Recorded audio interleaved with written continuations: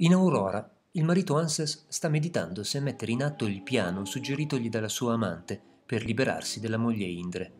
Invitarla ad una gita sul lago e una volta al largo spingerla in acqua e affogarla. In questa scena lo troviamo in preda ai tormenti. La affascinante donna di città lo ha ammagliato e non riesce a togliersela dalla mente.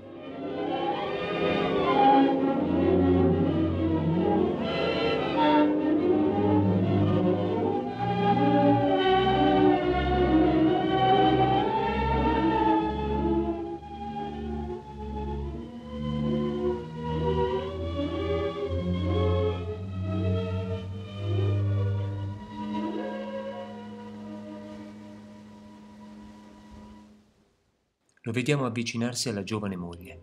Cosa ha deciso? Vuole davvero ucciderla? Oppure si è pentito e le dichiarerà finalmente di amarla ancora? Ed ecco che entra in scena la maestria di Murnau, che si sofferma unicamente sulla reazione della moglie. Sorride.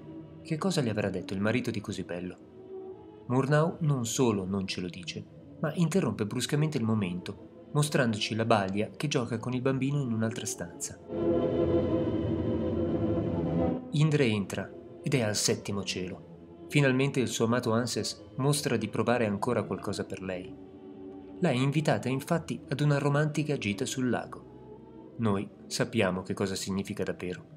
Anses ha deciso di ucciderla e la gioia incontenibile di Indre, ignara del reale significato di quell'invito, è un colpo per lo spettatore che rende la scelta dell'uomo ancora più terribile e dolorosa.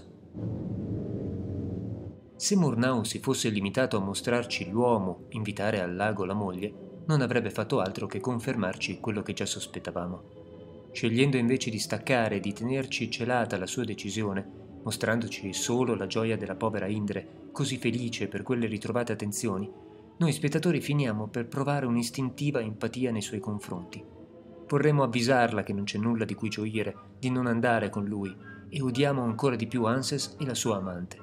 È bastata una scelta di montaggio e tutta la sequenza ha acquistato una potenza senza pari.